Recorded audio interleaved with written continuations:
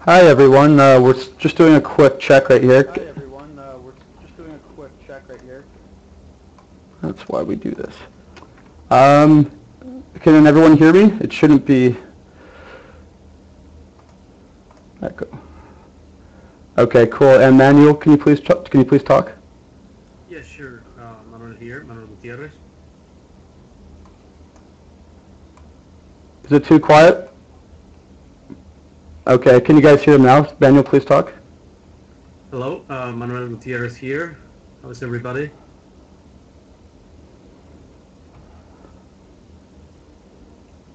Can you hear me okay? Yep, I think we're good to go. Um, okay, hi everyone, and welcome today. Uh, we have Manuel. We have Manuel here. Um, he has a really interesting product. Uh, he's going to talk about. Um, Manuel founded uh, Immersion in March 2014, and not too long ago joined forces with VRelia, um, a Jose Antonio Garcia Marin company um, in Spain, um, to create a company called Immersion VRelia International. Manuel is also uh, the Alter Space Environment Architect, um, AILEENN's Master Architect, and TD Vision CEO and founder. Um, as a serial inventor and entrepreneur, uh, he founded TD Vision in 2003, providing an entire solution for the full high-def 3D to the home ecosystem in 2006. Um, first in the world to showcase a full high-def 3D uh, HMD in 2008 and the first 3D high-def Xbox video game. His technology has been internationally awarded with a Lumiere Award in 2013 for his contributions to the 3D industry. In 2014, Manuel launched the Alter Space AVR, a, sp- a spin-off of TD Vision, providing a parallel digital universe where the Internet of Things, 3D datasets, media, social, work, education, and inter- entertainment converged under one single interactive environment powered by AILEENN's brain and providing interfaces for augmented reality, virtual reality, artificial intelligence, control, analysis, and media interaction, along with Immersion VRelia. Um, so as you guys can see, uh, Emmanuel has had his hands in a lot of things, and he's here now to talk about all things um, uh, virtual reality. So I'll hand it off to you, Emmanuel. Thank you very much, Colin. Thank you very much. So, um, thanks for the warm introduction, and uh, hello, everybody. Uh, I'm going to be speaking uh, a bit of our uh, background, our vision, our current company, and the fusion, as well as our products. And uh, please feel free to ask at any moment if you happen to have any questions uh, regarding our product line or our timeline. Just don't hesitate on um, asking us uh, directly. So um, thank you very much for the for the introduction, Colin. And um, basically, um, we have been in the virtual reality um, field for many years uh, now. Um, we have developed uh, over the years the different uh, pieces of the puzzle along with many other companies in the world that are also creating uh, virtual reality and augmented reality. It's uh, in the way we see it, it's kind of an evolution of technology where many people in the world is uh, developing some same line of development for, for these applications with a different approach in a different country, but we are all looking for the same convergence of virtual reality and augmented reality. Um, so how do we do that and how can we make it in, in a compelling way? How do we solve uh, the challenges that we have identified over the years? Um, you name you name it from from the ergonomics uh, to the vestibular system um, differentials or uh, the optics or the field of view or the compression methods to deploy uh, high quality content over the cloud. So there are many challenges. Uh, we have seen many different approaches for broadcasting, for transmitting data sets, um, for creating virtual reality environments, and also for augmented reality. Um, so what we did in our company, we decided to put together in one single company uh, tens of years of experience uh, of each one of us combined into creating a complete platform and a complete solution for the environment for 3D and virtual reality and augmented reality, everything into one single platform. And we decided to call it Immersion Vrelia, um, which is a, a, a, group of initiatives. Um, we go from um, the, the side of uh, content acquisition, uh, content generation, deployment, uh, the coding or receiving the, the content or accessing the content, and then visualization and interaction with such content.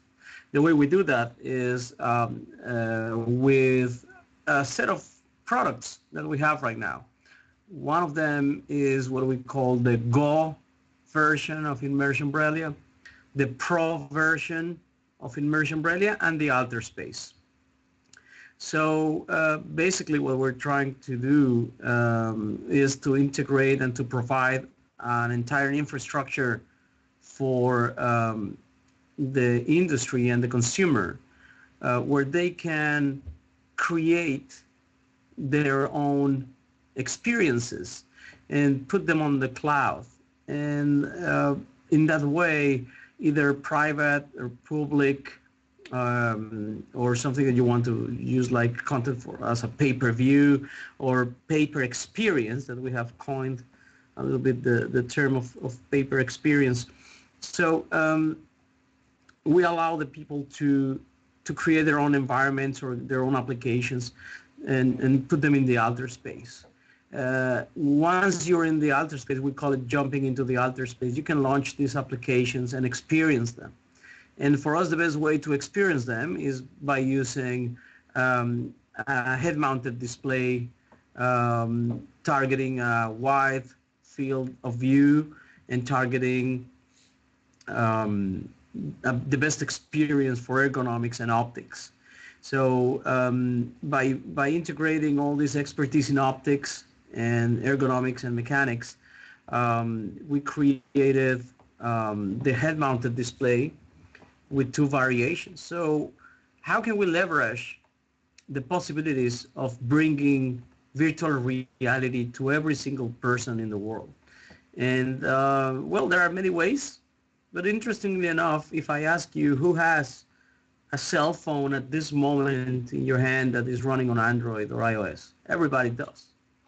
So what if we could tell you that we can enable any of those cell phones or iPhones to be a portal to a virtual reality environment? That's one, that's one option.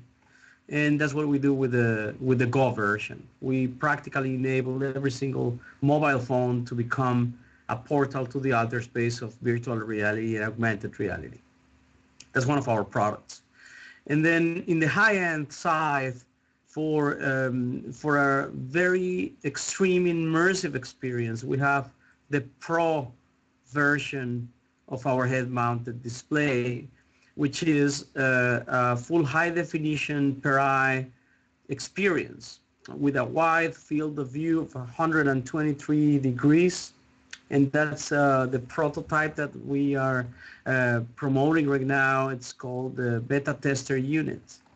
Uh, nevertheless, we are including in our uh, timeline to create a wider field of view and a higher resolution device on the Pro.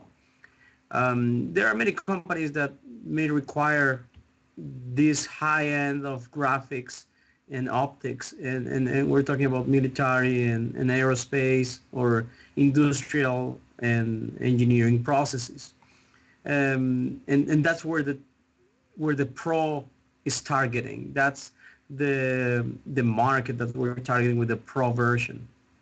So, being that said, we are trying to cover a wide uh, set of the spectrum of users uh, if we think about all the mobile users for the consumer, for the um, let's say the low end of uh, resolution and, and optics, uh, we have all these possibilities with the with the Go version, and then for specific applications we use the Pro version. Now, let's say we have either one of those, either the accessory for the Go to enable every phone, or the Pro or any other head-mounted display for this case and uh, we know that there are going to be many others, and, and, and, and we're up for, for very good health competition. So there are many good initiatives out there, and um, they offer something different. They, they offer something you know lighter or with less resolution or less optics. We're targeting the high end and the high end experience. Uh, but let's say that any user that has um, this head-mounted display of any brand and uh, of any configuration, well, they want to see content. They want to experience content. Um, they want to learn. They want to entertain. They want to play. Some of them want to work. Uh, where is that going to happen? Where exactly is the content located? Where where is where are all the movies? Where are all the games? Where are all my documents that I can see virtual reality? Where are where are my designs? Where are my airplanes or my ships or my cars or anything I want to see in the virtual reality world? Well, they are located in the alter space. That's that's where you'll you'll find everything that's where everything is located. It's a, it's a consolidated repository of information where you can find uh, photographs, videos, uh, games, applications, renders, worlds, experiences, all of them suitable for virtual reality immersive experiences. And not only that, but also the capability to enable augmented reality capabilities on a virtual reality environment, which is mixed reality. We call it like augmented virtuality. So what happens is that every single object inside the alter space not only has a virtual representation, but it also contains metadata and information that is that is probably the most valuable thing that we can find in the virtual world, metadata information about the information, information about each object. So when we mix the concept of virtual reality and augmented reality within an immersive experience on a high definition, wide field of view display, head mounted display, then we are really bringing the user to a different world, to a different dimension. And that's what we're offering. That's our products, that's our line, that's our mission, that's our motto. We want to make um, the trigger, we want to be the catalyzer for human evolution. Um, games are fine. Applications and entertainment, yeah, th- those are fine. We, we, we can all watch a stereoscopic 3D movie immersed in a virtual reality. That's okay, that's fine or we can play uh, first person shooter. That's one one field. What moves us is education, science, medicine, security, the way we can enhance the experience for students, for doctors, for engineers, for scientists. That's exactly our target. That's what we're targeting. That's what we're looking for. And that's our field. And that's our scope of action. Um, you can see many things in our booth, uh, in our virtual booth right now in the universe. Uh, we have many uh, products, many ideas.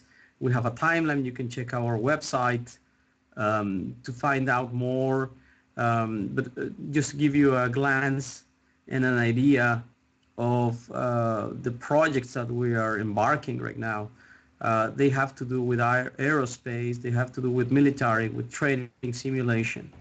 And uh, they are all part of what we call the early adoption program, um, where we are inviting companies with very creative ideas that they know they can monetize and they can be useful for training and education. And we're inviting them to bring those initiatives into the alter space. We provide the infrastructure, we provide the environment, we provide the technology from deployment, visualization, and management.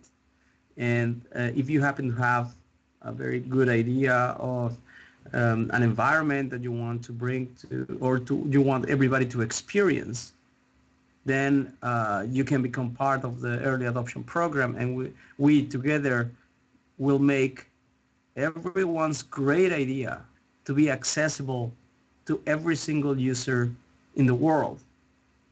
That's why we we call our alter space to be um, uh, a portal because technically speaking, you can go anywhere. You can go anytime. You can travel in time. You can travel in space. Uh, you can practically do anything you want.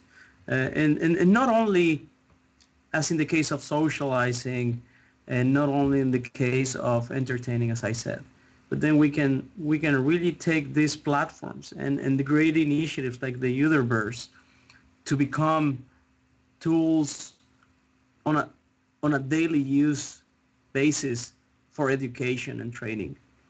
Um, we believe that the, the more technology that we pour into education, then the faster the evolution of the next generation of students is going to be.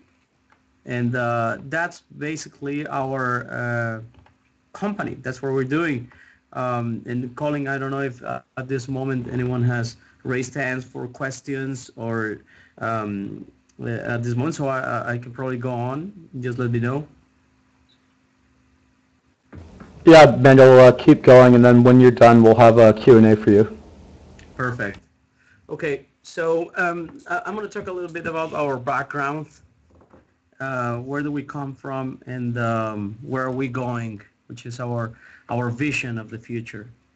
Uh, now that I've explained the, the different products that we have in the company, well, um, when I was talking about the different years of experience that we have had in virtual reality and augmented reality and, and immersive experiences, is because um, as many other people in the world, we, we started with the with the vision of bringing the user to a different place, to, a, to an unexisting place, to a digital area. Um, many years ago, uh, when we all started, uh, well, the technology wasn't there. There was no processing power enough to run a virtual world. There were no fast enough computers. It was probably just the silicon graphics with very high-end cards or um, super computers and um, graphics cards that will process the number of polygons to give you a, a, an interesting experience. But um, that that evolved. That had to evolve. Um, the timing wasn't right. Many people was looking at this happening, but the timing wasn't right. The, the, the platform wasn't there. Just a few companies were actually experimenting with that, and um, over the years, as the technology and the Murphy's uh, um, uh, experience proceeded, um, we can we can think about uh, how this um, technology is now available on everybody's cell phone or everybody's laptop or everybody's desktop. So having um, this processing power embedded into every single phone allows you to get access to some things and, and, and, and products that were not available before. We have now the processing power inside a phone that is higher than any computer in the 80s. Um, so we're taking a leverage on that. And, and uh, Jose Antonio uh, from VRelia and the team in Europe and, and we in, in the United States and Mexico and many people from all over the world, we have we have target to capitalize on that platform. And uh, how do we do that? Well, we take the maximum performance out of every phone and every computer that we have available to provide the user with the best experience ever. Um, this is basically um, our our approach.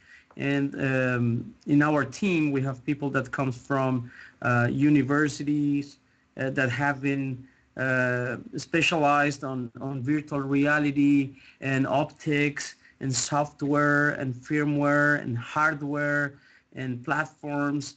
And um, we, we are very proud to say that our company today is holding um, many many people that is expert on their fields as, as many other companies are, are trying to do and, and doing together. So um, when we when we decided to go forward with the initiative, I remember back in 1999, it was interesting. It sounds so easy, but so long ago.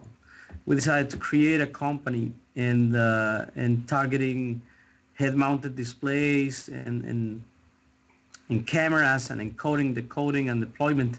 So back then, even though when the power, the processing power was not there, we knew that at a certain point in time, the, the conditions, the environment will be the right one.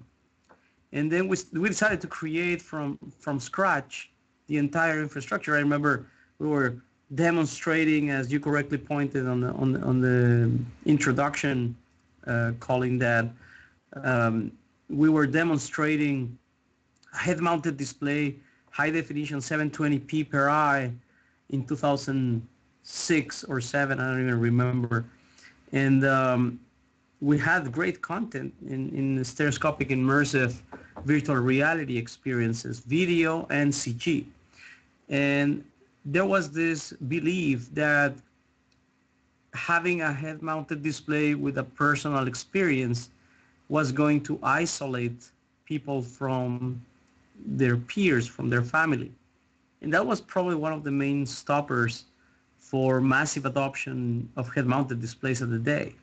So we had to shift our approach, and that's when we enabled some of the uh, DLP projector televisions, Mitsubishi's and Samsung's, to be 3D, to be compatible with our system. And then we were showing videos and um, computer-generated virtual reality environments uh, on a Samsung television and a Mitsubishi television. That was not our, our original focus. Everything we did was based and targeting the head-mounted display.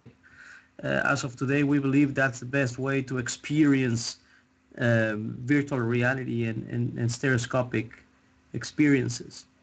Um, so we decided to focus on the content and uh, we required some high quality content and uh, we were inviting companies um, in the in the in the realm of uh, entertainment like uh, Disney and Warner Brothers and and many other companies to to provide us with content so we could um, encode it and present it in our format in our Blu-ray format.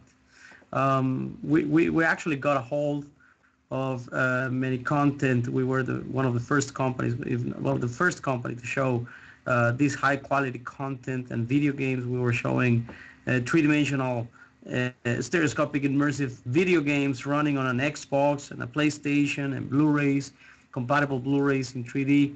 Uh, we, we went for the standardization of, of these processes and um, successfully we, we achieved a place in the standard for the MVC and, and well, the industry uh, embraced the idea and um, it was interesting to see all this evolution happening. Um, once they got to see the kind of experience and the kind of impact that content makes in the user when when perceived uh, in such a way with with the stereoscopic immersive experiences. That's when they, they decided to support a lot of the of the 3D to the home initiative. Um, now we are facing a, a, different stage. The circumstances, the environment is different the possibilities have changed. Now we have content, we have the processing power, we can create any virtual uh, environment and we can run it on pretty much every platform. Um, given those circumstances, we decided that it was uh, the right time frame to go full speed with um, with our with a head-mounted display and a heads-up display for VR and AR that will really make the user uh, feel that they are inside the digital world without knowing that they are actually looking at a computer graphics image. That's our target. That's our goal. That's how we have uh, created our platform. And that's exactly what we are uh, promoting right now as Immersion VRelia uh, by integrating all these uh, technologies. In the past, we worked with many companies like Lockheed Martin, Northrop Grumman, NASA, um, the University of Iowa, the University of Southern California. Um, um, we also work with the Northwestern University Hospital in Chicago. We work with many companies for integrating virtual experiences and, and, and uh, stereoscopic experiences. Um, now we believe it's the right time for doing things in a different way. Many companies are doing it, but we're doing it in a different way. We're doing it in a way where we offer a platform, an entire infrastructure, a, a healthy ecosystem for everybody to adopt. Um, basically, that's uh, that's our company. That's what we're doing, and our mission, as I said, is to accelerate human evolution based on all this expertise poured into one single company. That's our objective. Thank you, Colin. Wow, that was uh, very insightful, uh, Manuel. Um, so we can start the Q&A now. If anyone has any questions, they can uh, PM me. Um, just to start off, Manuel, um, when will your product be available? You kind of have three products. You have the Go product, you have the Pro product, and then you have the um, platform. And uh, also another question is, are you going to be license? Are you going to be licensing this platform out to developers? Yes, that, those are all very good questions. And um, for our products, for our three products, the Pro, the Go, and the Alter Space, we have different timelines. Um, uh, I'm glad to announce that we are entering mass production of the Go within the next few days.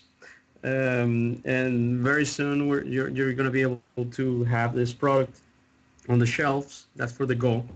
Uh, regarding the Pro version, we are targeting November 2014 for the beta tester unit, which is currently a 3D printed unit. Um, and it, it's on deployment now. We are accepting pre-orders for both of them, the, the Go and the Pro. Um, the Alterspace is also part of the uh, early adoption program. Um, it's under development it's an alpha version. Uh, we have some virtual reality experiences right now for both augmented and, and virtual reality. And um, we're going to be releasing uh, the beta version in November as well, along with the Go and along with the beta tester unit. So uh, a, a safe date to have the products, the first generation or the beta tester generations of each one of the products, a safe, a save date is November 2014, um, based on our uh, timeline and our roadmap for technology development.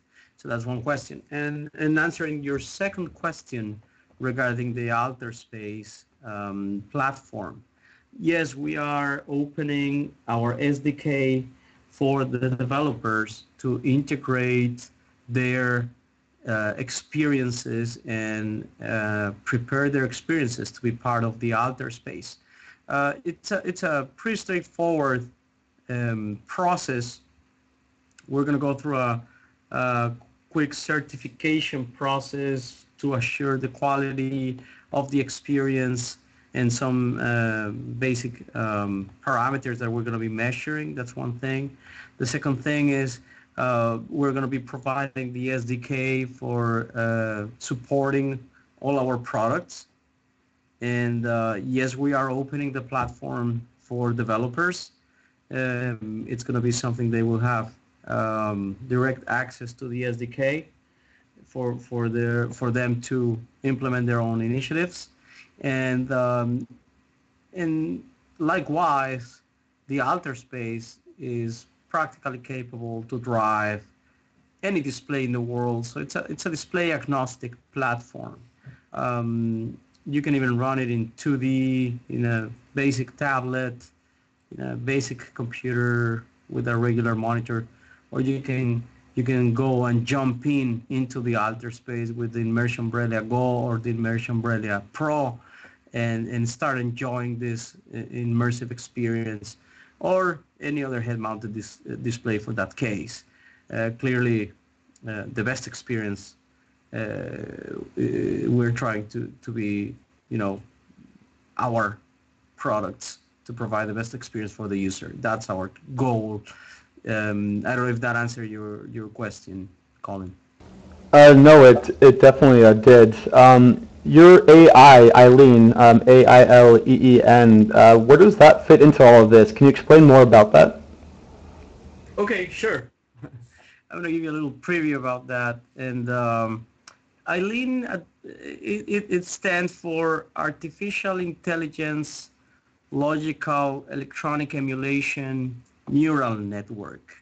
Um, so what it is, it's um, it's a it's a platform. It's an infrastructure that is focused on information and data analysis, pattern recognition, prediction, uh, syntaxes, and context.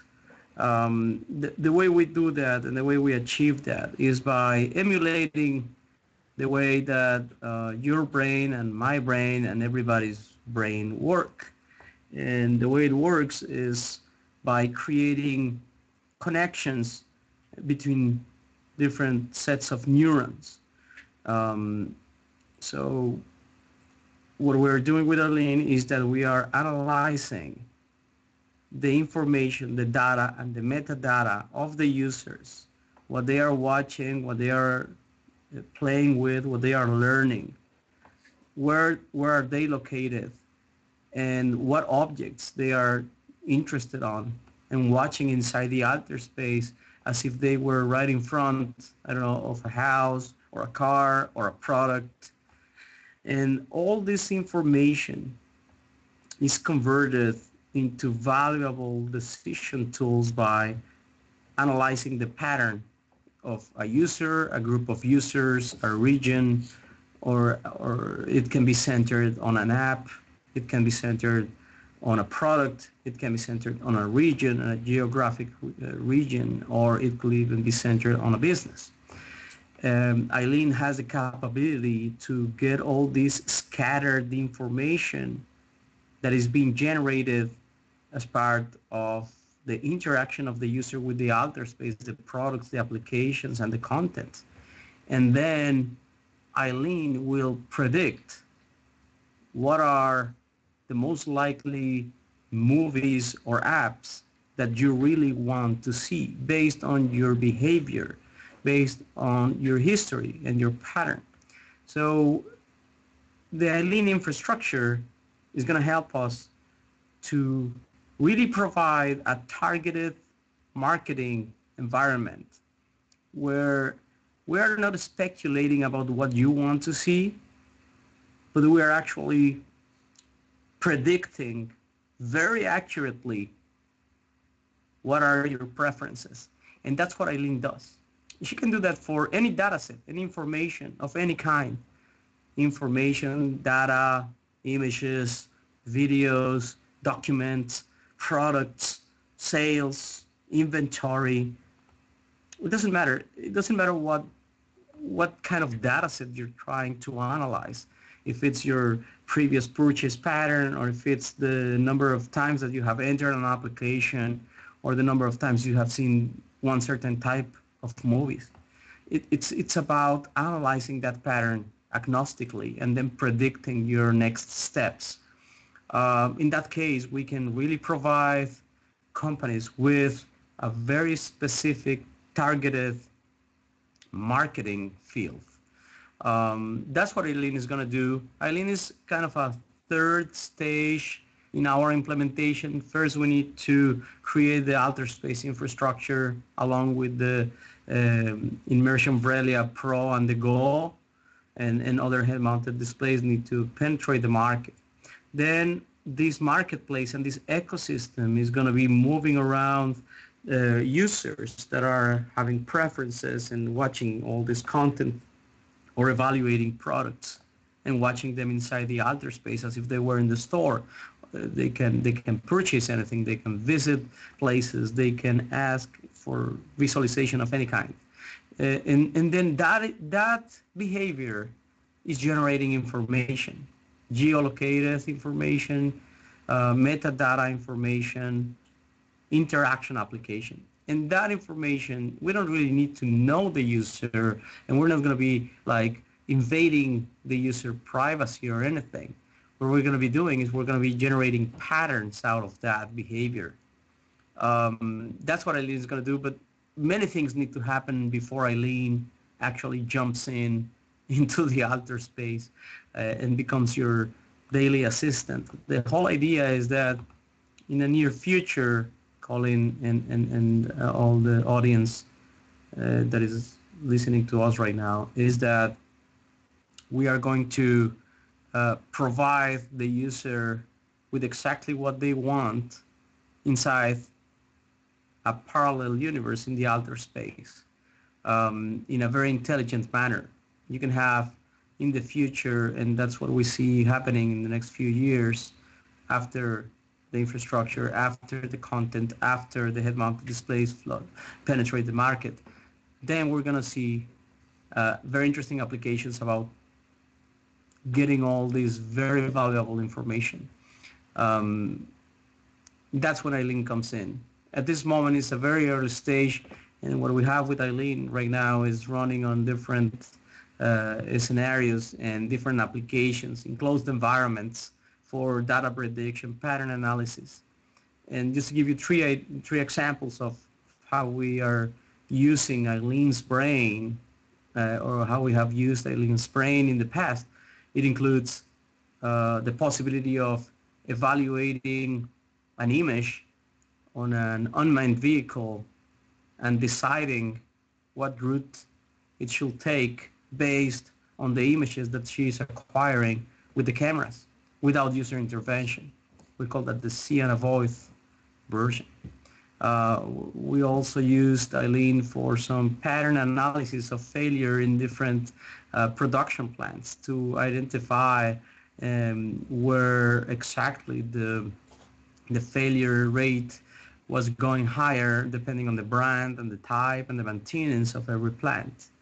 And uh, we also use AILEENN's um, capabilities for generating a tool that will allow us to understand better uh, the behavior of stereoscopic natural visualization versus computer-generated uh, stereoscopic visualization. And she was capable to identify patterns that will usually be impossible to see at simple sight. She was able to analysis, uh, to take an analysis and, and predict the behavior of certain software based on, on, on those uh, rules. And uh, it's, it's called back propagation. She can start learning uh, from experience like at the beginning. She didn't know anything. Now she's learning more and more and more, and now she knows a lot of things. But she's not ready for the public at this moment. We have the early adoption program for her. And as I said, it's running in, in a few companies internally. Um, but yeah, that's that's AILEENN. Um, have you seen the movie Her by any chance, Manuel? It seems like AILEENN um, sounds a lot like the technology that's being used in that movie. Uh, that's a very interesting question. Yes, I've seen the movie Her. Uh, it was a recent movie. I guess it was released in 2014, in a few a few months ago. Um, the interesting thing, Colin, is that AILEENN has been up and running since 2011. Um, that's that's when we started with with the initiative of AILEENN. Probably before I don't remember when we had the first conversations about this AILEENN uh, engine to be active. So yeah, that was a very interesting movie, and also I, I can even give you the name of another movie that is very interesting. I highly recommend it. It's uh, the Transcendence movie. That's a very good movie with Johnny Depp. That's a very nice movie, and it also has a lot of interesting approaches and descriptions of what a neural network is. Um, um, so yeah, that, that that's that's along the line. Now, here the movie, it's probably a little bit of a stretched neural network, stretched in time and probably stretched in the way that feelings are handled.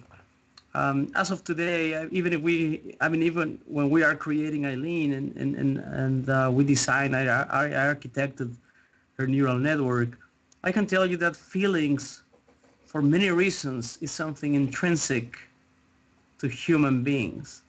Um, even though when a synapse can be created for a memory, and and that's clear that a computer can also create that kind of synapse for I don't know if you recall when you were five years old and, and, and you know, you were in the living room and in the holidays or something. That's something you can remember very well if I, if I just describe it. And the same happens with AILEENN. She can also go back and look at her previous neurons and, and replicate in, in time the, the memories, the equivalent of memories. But even though when she can perfectly recall what happened or what images were there or where, where was the action happening in her neural network, that won't trigger any emotion. So if, if I if I think about the first time you received a gift during Christmas, that is probably a very emotive way to think about the memory. And the human brain translates that into into joy, into happiness. That is something that is associated with, with the feelings. And even though again when I'm when I'm creating the architecture of AILEENN as a neural network, I can tell you that as far as I am concerned, there's no way to replicate the human feelings unless you actually hard code them. So the, the chemical reaction that happens in the brain of a person when these memories come up and you remember those, like, I don't know, like uh, just like saying something out of out of the blue, like like like everybody's first kiss. You you have a fond memory of, of a first kiss, and and that triggers a lot of emotions for everybody. Even though when that is perfectly available information over time for a neural network, there's no emotion, there are no tears. Uh, unless you actually program something to uh, every time you access that specific moment in time you you trigger some kind of actuator. But but that that that's not the way we work. So here is probably a little bit stretched on the feelings of of a neural network uh, because the way we see it a neural network at this moment being realistic um, it has the capability to learn has the capability to, to predict but we're a few years ago from emulating human feelings at this moment, Colin. Wow, uh, awesome response. Um, but do you have anything in, in place to uh, kind of prevent what happens in here, like singularity? Uh, anything in place that will prevent that from happening? Yeah, well, um, definitely. The way we structure the neural network is by um, targeting some parameters for maximization. So giving an example, when we're, when we're uh, analyzing scattered data and scattered information, uh, let's, let's talk about um, the way that resources are provided today for education all over the world. So the information is there. We know how many millions of dollars are being deployed on every single school, on every single country, on every single city of every single county. Uh, we know that information of every, every, every pretty much every, everywhere. Um, having that information maximized, information of where do we really need another school, where exactly the kids are going to go if we open a new school? What exactly are the characteristics of the new school that we need to open? That kind of information can be predicted and analyzed, and, and we need to we need to provide some parameters for maximization. Um, every time you have this um, um, back propagation methods uh, where the system is learning and learning and learning, you, you keep improving on the parameters, maximizing on the parameters. So we need to maximize for social benefit, or you can maximize for your business benefit, or your financial benefit, or your health. Given those parameters, that, that is the kind of rules, the only kind of rules that you need to provide to AILEENN. So you can say, hey, AILEENN, maximize um, revenue for my company and minimize the cost. She will she will be capable to analyze everything that you have in your inventory, your raw materials, your providers, who are the options, where you can get the thing, and when you can do it. So, so you have to instruct her or ask her the question. The fact that a neural network can start thinking by itself, that is that is another step. That is probably a different step because analyzing patterns, predicting patterns is one thing. Now, taking conscience of or awareness of your surroundings and your environment, and then start asking your own questions about the situation, that is going to be part of, of the neural network. Once, once the information is there, once the information is inside the neural network, and once you have all these cameras and microphones and files and data sets and everything is available on the network for, for the neural network, then and only then the neural network is going to start asking new questions about things that the neural network doesn't know and start, you know, thinking. That's going to be a very interesting step. step. And, and in my mind, the answer for that happening is going to be part of evolution. It's, it's a neural network evolution. It's going to happen inside the neural network. It's not something you need to program like, like today, if I want AILEENN to identify something, I don't need to program anything. I just ask her. And she will find the information, gather the information, get the context, find the syntaxes, give me an answer. And that's fine. Um, and she's learning out of that answer. Now, as part of the neural network, there has to be something that says, okay, you don't have, you're not, you're, you're not being requested with a question, but you can start asking questions now. And that's when it's going to be very interesting. And I don't think we can stop that from happening if you give the, instru- the right instructions or the right questions. Uh, but but it's a fact. I mean, robots are program, programming themselves to replicate themselves right now. And where is this all going? Well, we are getting robots, we are getting artificial intelligence, we are getting virtual reality, we are getting augmented reality. All these tools, all these technology tools are just for evolution.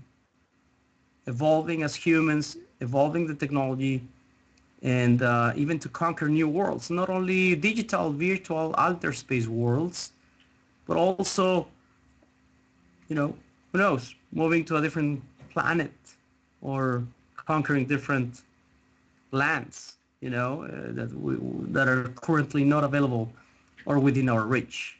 Um, that is going to happen. It's not going to happen anytime soon.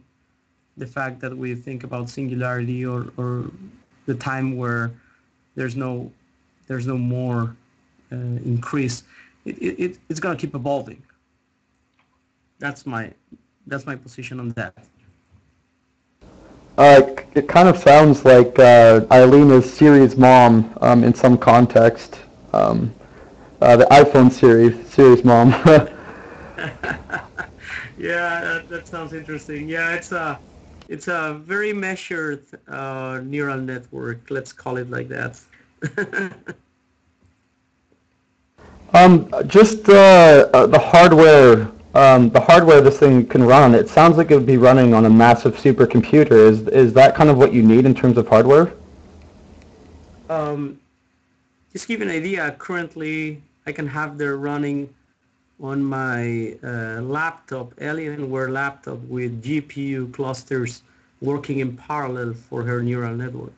So no, it's not a supercomputer, but for for a very early stage, um, we are using the processing power of, of the GPUs, and um, the whole massive project includes um, GPU farms and GPU clusters that are located on the cloud. If I give her that kind of processing power, she will not only be capable to attend every single request of the users or the datasets, but she will also have access to virtually infinite processing power just by, you know, just like today you virtualize servers, you're going to be virtualizing GPUs and, and, and GPU farms and renders. So um, that's going to be virtually uh, like an infinite processing power. And, and when we think about the fact that AILEENN is not storing a lot of information locally, but it's actually gathering information in real time and just creating synapses that are abstract for us. It's not even for programmers. I mean, they are not they are not even words. They are not even lines of code. They are not databases. It's it's a synapse, and a synapse is a very abstract concept. It's you can think about a synapse more like in the realm of uh, a 3D data set with uh, points connected in a three-dimensional virtual world, and, and that's precisely what AILEENN's neural network is, and that's why I'm using the GPUs. But it's not something I can read. It's not like I can look at AILEENN